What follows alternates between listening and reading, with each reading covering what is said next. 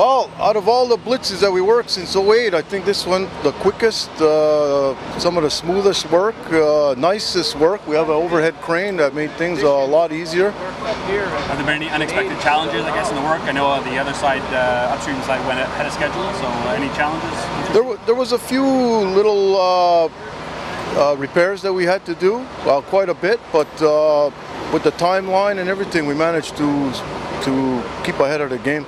And how important is this job for you to work on personally, I guess, uh, being from here, and how important is bridges to the city and, uh, and communities?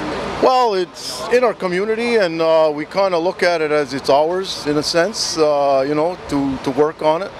And uh, it's nice working right in your backyard, uh, five minutes from home. We see home, and when we pass every day, we see what we did. And how many other uh, bridges or structures have you uh, worked on in the past? I worked on a few, but uh, it's I didn't work on that many. There's a lot of guys here who have a lot more experience in the big cities and that. Okay. So what would be some of the others you might have worked on? I worked in Detroit and I worked in uh, just out of New York City a few times. How does this compare to working on other job sites? Um, it's really nice. You're home every day. Uh, good pay, uh, good working conditions, good uh, rapport with the company. All the guys get along. It's, it's a lot of fun.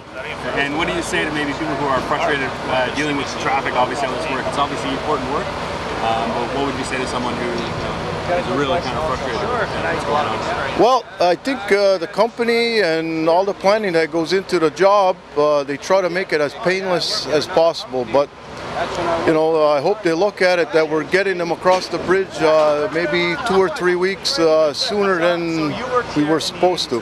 So I hope they can appreciate that. Perfect. Thank you very much. Okay, thanks. Thanks a lot.